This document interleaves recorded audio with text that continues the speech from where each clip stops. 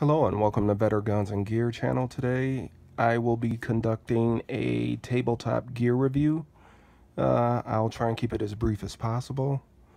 But today it's going to be on some shades. Uh, I know I did the Oakley, the Holbrook Metals uh, shades. If you haven't seen it, uh, check my channel out. It's uh, pretty in-depth. The audio quality wasn't that great because uh, my studio was not set up that well at the time. But uh, things are gradually improving, so thanks for bearing with me uh, to all my subscribers. Anyways, I digress. Today's video is going to be on the Under Armour, and it's called the Under Armour Assist. So I'll give you guys a 360 view of the box. Okay, moving right along.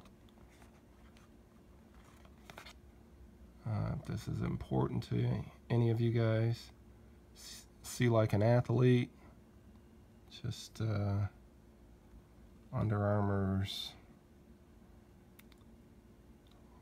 motto here. Anyways, um, I don't want to spend too much time on that, but uh, just giving you guys a uh, 360 view of the box. Here's the SKU number if you guys are interested or girls.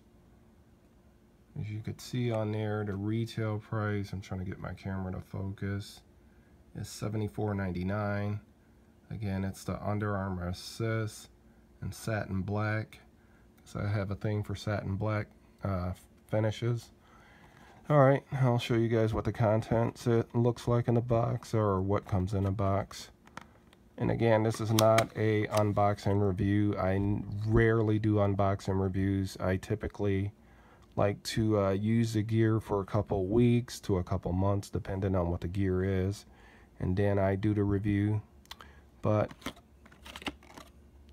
here we go. Here's what's in the box. It come with this really cool pouch. It's white. It's an Under Armour. It's so cool that uh, I don't want to use it. I actually use another sunglasses pouch because this thing is white and if it brushes up against anything it's it's just gonna get dirty so I don't use it. I keep this in my uh, dresser drawer. And uh, what else is in here? This comes with a uh, little pamphlet, you know, and a registration card. Me personally, I prefer to register everything online. So as far as the contents in the box, that's what you guys and girls get. Um, now for the star of the show here they are. These are the Under Armour Assist.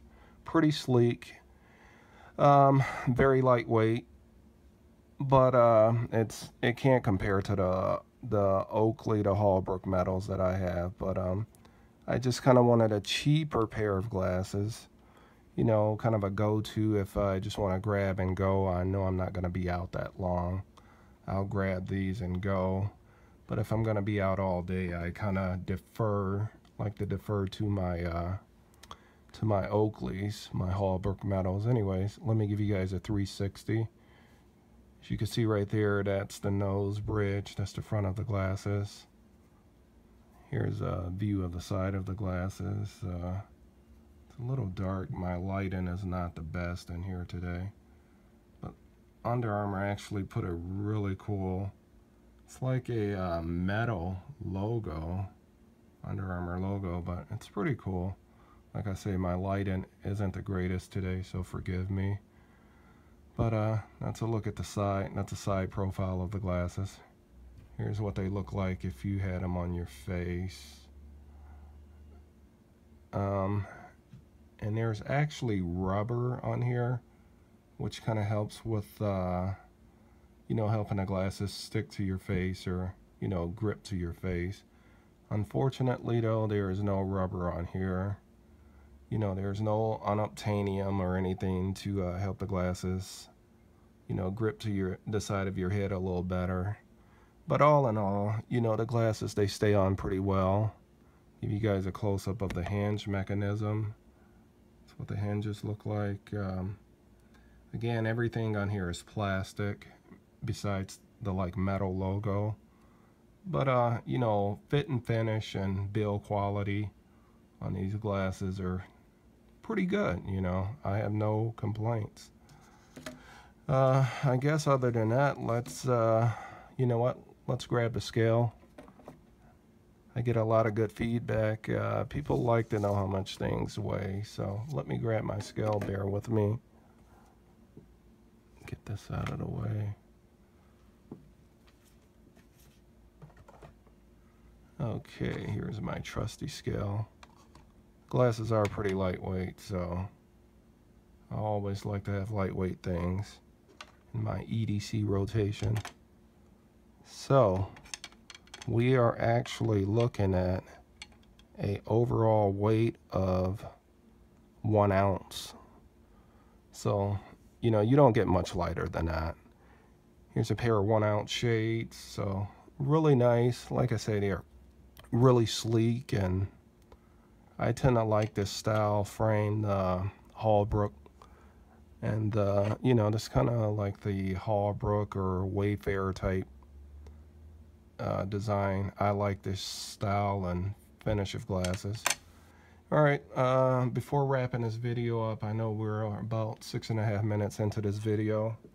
I guess in closing, I'd like to uh, cover a few pros and cons. Um, let's see. So again, just to hit the pros, uh, the glasses are very lightweight, which is really great.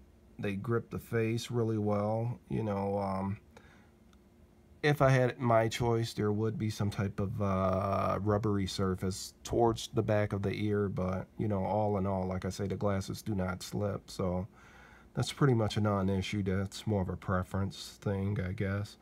Uh, the price, you know, it come in at a really great price point, which was uh, $74.99. You know, which is not bad at all for a pair of, uh, you know, pretty, uh, pretty superior and uh, name brand shades. So that's not that bad on price.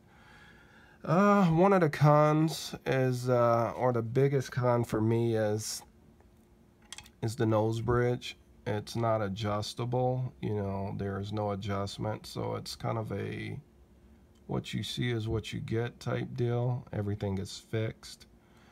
And that's kind of bad. It's bad from the perspective that um, you kind of limit the people that can wear the glasses.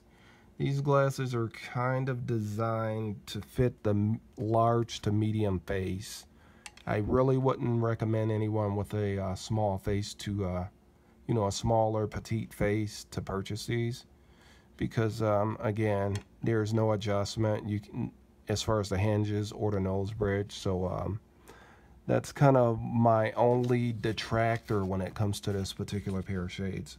But again, it's you know for a budget, it's not really a budget pair of shades, but um, for a pair of shades that you know it's all in all, like I say, it's it's good. I'll still give the shades two thumbs up. I'd say it's a purchase. And uh, I guess one of the last cons about the shades is that um, it protect on three different levels. Of, it have uh, three different levels of UV protection. So um, that's another plus. Not only are you wearing stylish glasses that look good, but you are getting UV protection. Alrighty guys and girls, that's going to wrap up my review for today on the Under Armour Assist. Again, these are pretty cool glasses. I give them two thumbs up. I would call them a purchase.